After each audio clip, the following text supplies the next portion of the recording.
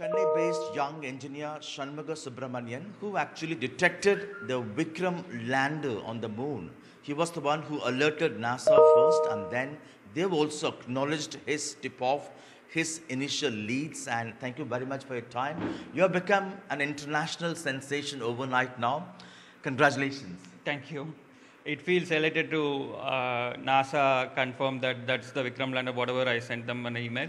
And uh, I hope this also inspire a lot of other amateurs as well as people who are involved in, uh, who are uh, for their hobbies involved in space exploration as well as other stuff. So you actually located the exact spot where Yeah. Vikram is lying now. Yeah. So I, I just located the debris of the lander. So based upon it, NASA searched around that uh, location and found more debris of the Vikram lander actually. So what I did was I just found a one piece of it, and based upon it, NASA was able to do more research on it during the uh, subsequent flybys on November 14th and 15th, and they were able to.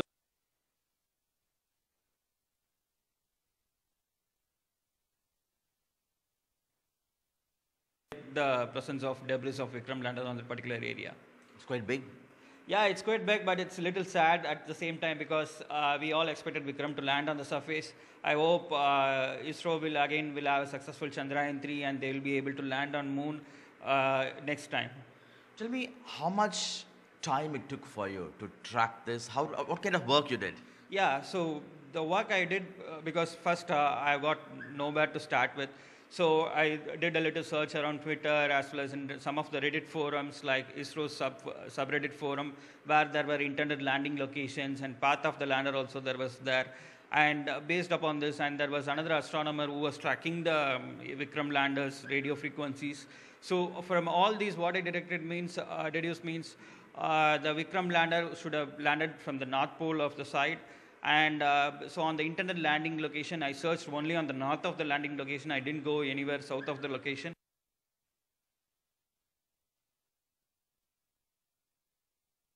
And I searched only in 2 into 2 square kilometer area because uh, Vikram lander at la- uh, last point of communication was something like 1 kilometer away from the intended landing location. So I made myself sure that it has to be within the 1 kilometer range. So I searched around 2 into 2 square kilometer area. I was able to find little difference, which is that white little dot which NASA has confirmed as debris of Vikram lander. You're basically a mechanical engineer working for an MNC here. Uh, what kind of tools did you use for this? Uh, so I didn't use any tools. So it's by just by scanning the images on one of my laptops and seeing the old images on my another my laptop. And there is nothing like I didn't do anything like image processing other stuff.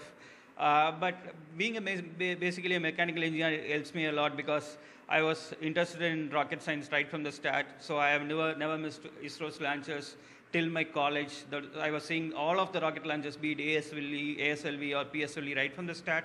I even saw the GSLV's first launch, which was a failure, which didn't even take off from the uh, launch pad itself. So it, it got all kind of me interested right from the start itself. This is your small lab. I don't, I won't say because a lot of people have much more bigger lab than this actually. So if you can explain to me this image you are having on your lap. Yeah, so on the left side, whatever uh, we see is the image that was uh, Right. released by NASA on September 17. Okay. So the small dot, whatever I am showing my uh, finger over it, is the debris of the lander, whereas this is one of the old images. Okay. So which I took from LRO, and the old images, um, you are not able to see any of those uh, Right. white dots over here. So that should have been a white dot if that had been there previously, but I was not able to find any of those white dots. Right. So that basically confirms. So this is the debris of the lander actually. And how much of time you spent every day? Yeah, I did spend some time. I did spend something like uh, four to five hours, uh, or maybe six to seven hours every day. That is, I, I would sleep at two o'clock and then wake up around at six o'clock in the morning, and then again find uh, start searching for it because it's kind of a hobby. Before I go to office, let me let me search and find something. So I did it for something like three to four days, and after that, once I found it, I just tweeted to NASA and sent me an email on October 18th. I, d- I do know that they will take some time to confirm it because they wanted to be 150% sure before replying back because they are a public organization. And um, I do know that they will reply back, and I- ultimately it came today actually. Your family knows about this? Yeah, my family feels elated, and Where are they? They are from Madurai actually. I am from Madurai actually. Which part of Madurai? I've- I've been in Madurai. So I am from Kudal Nagar in Madurai. Wow. Okay. And tell me, when you heard NASA early this morning confirming to you by email, how did you react? What ran in your mind? Yeah, I think I did feel a lot of happiness uh, that I was able to find it, which NASA was not able to find it initially. Uh, but it's it's nothing to do to be proud of actually because a lot of our scientists do a lot of hard work. I think they sh- they should have been able to land uh, Chandrayaan 2 on the moon surface. I hope they will be successful in the next time, and we we need a lot of support for them. And uh, the way our Prime Minister Modi as well as uh, ISRO's chairman supported them, I think uh, we should be supporting them further and further. And failures are stepping stone to success, and we should not be criticizing them at any point of time.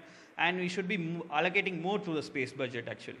Many would also ask you, why did you choose to inform Na- NASA instead of ISRO? No, I did send a tweet to NASA, ISRO as well, uh, but uh, I did send a couple of emails to a couple of NASA scientists. So they were they were in charge of the LRO images, and they were uh, actually scanning those images, and they have a team under them. So uh, so I got a good response from them actually. But for, for ISRO, we do, didn't have any public media relations or something like that. So we do not know who is responsible for Chandrayaan 2. And I would ask ISRO to most probably uh, publicize those data sets, whatever the images they have for Chandrayaan 2 or Chandrayaan 1, because it will, it will allow the students as well as others to explore more about the moon surface. Because Lastly, would you like to visit ISRO, NASA sometime? What next?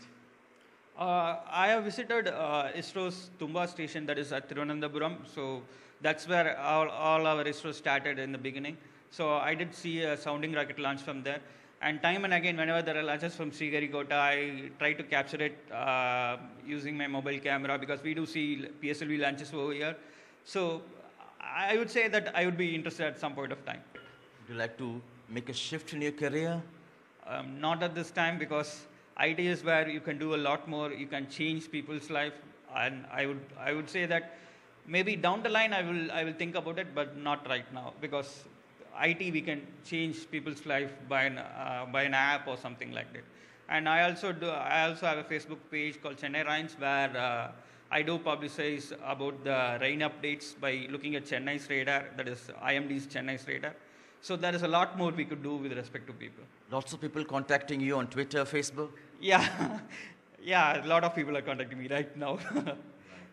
Thank you so much, uh, Shanmuga Subramani, for your time, and certainly, I'm sure the country is proud of you.